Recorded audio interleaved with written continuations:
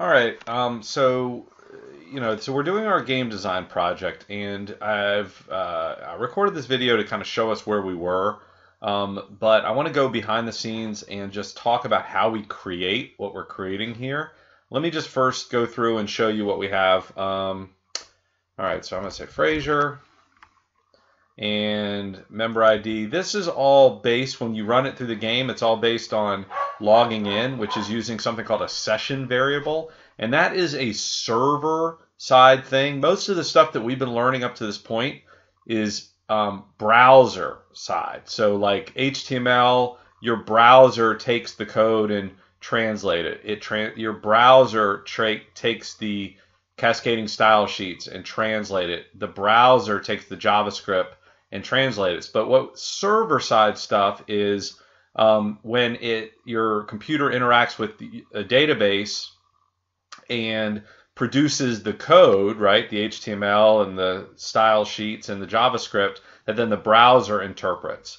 Um, so when we upload a file, we're uploading an HTML file, but what we've done in the course three, right, the HTML5 and database stuff, is talk about how databases can be used to store information. And this game, any game where you're going to want to have interactivity between people who are on different computers, the information needs to be stored somewhere, right? So right here, this is all browser side stuff.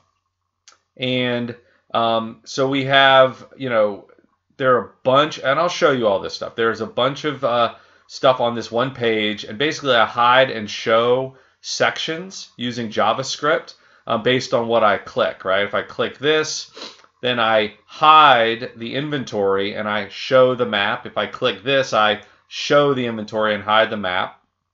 Right here is a list of items that are generated based on uh, what I've entered into the database. And I select what item I want to add to my startup. And then I click this update my inventory and it takes this list. You see over here, as I, as I change things, this is something I'm showing myself, which is basically everything I click, when I click over here, it updates this information. And this is all part, what I'm showing right now, these codes and this over here, is all part of me just debugging things uh, to make sure that it works uh, going forward, right? Because sometimes I'm like, well, wait, it's not working, so what's going on? And I, so I show it to myself. All this is, is cleaned up in the game. All right, so then I click update my inventory. And you see here, these are alerts. Now, we learned about alerts in JavaScript, right? The good thing about alerts, sometimes with JavaScript, when you press a button, if nothing happens, it doesn't say, oh, well, here's why, here's what, you're, you're missing a semicolon here, or you're missing a quotation mark here. That's not the way it works. So you have to put in, or you, you can put in these alerts in order to so you can sort of follow the path, right? So every time it it, it the uh, function runs a specific line of code, it tells me what's going on. All right. So all that stuff, of course, I'll remove. And right here, what it does is it says, okay, here's the inventory of things, and then you can click start game. But I'm doing this all, I'm getting this to all happen automatically, meaning that once you run one function, it calls another function. And what we're going to do here is I'm just going to go over some basics today, and then I'll record another video where I go into some of the other more complicated things, and then I'll go into some other um, more complicated things as we as we go. But just be aware that you know by the end of this game design series, you're going to know how to create every element of this game. All right, so it switches over here, and then you see that it, it it's alerting this information, and it populates over here. So let me explain one thing. So everything right now is going on in this browser until I do an update, in which case I'm not only um, just talking here, I'm sending this information up to a computer so it can get stored. Like for instance, I want to store what items I selected. Why is that important? Well, here's an example of why it's important. So let's say this is me and I can move by clicking these buttons. Watch what happens if I try to click this one. I get a message, you can't move there. You can only move to a square immediately next to you.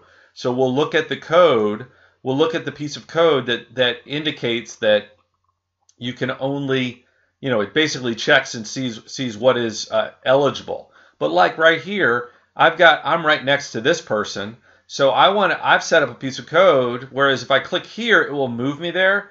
If I click here, it checks to see is there somebody else already there, and if it is, then it's going to assume that you want to trade with him. So watch.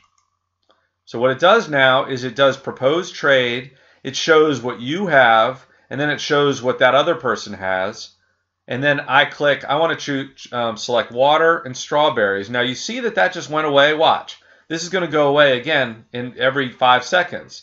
And that's a little bit of a bug, but what it's doing is every five seconds, the browser checks the computer or checks the server to see whether anything's happened. Now, what it's doing is it's checking to see, you know, has anybody moved, right? Has anybody traded something so they don't have it anymore? But I have it set up here where it it um, you know recreates this little item right there, so it keeps doing. It. That said, it's not that big of an issue because all I'm trying to do here is trade. So you see right here, I said I'll trade all these things and I'll trade them for whatever, raw meat. And then I propose this trade. At this point, watch.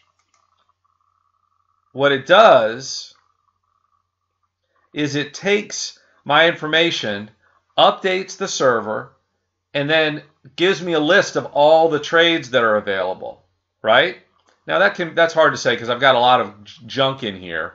But then whoever is on the business end of that trade, right? The, so I propose the trade, and let's say whoever that was that's got the raw meat over here is going to approve it. Watch, approve, and it again alerts just so I can see what's happening.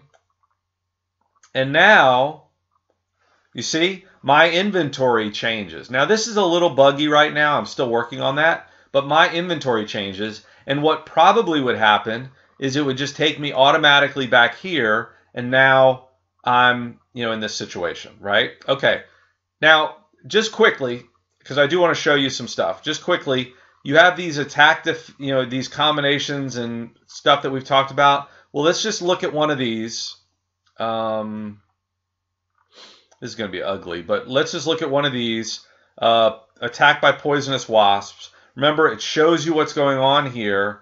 And then if we go to, on the map, an area like this, then it shows me landslide and it tells me the result. And then what we want to have happen is that it, depending on what happens to me, it adjusts my health and energy and whatever. And we have this whole thing, right, where we can tick things up. And you see how it keeps changing? Watch, every five seconds it's going to update because I don't have it set up where when I make a change like this, it updates. Okay, so all kinds of stuff, but let's just take a look at a few basics.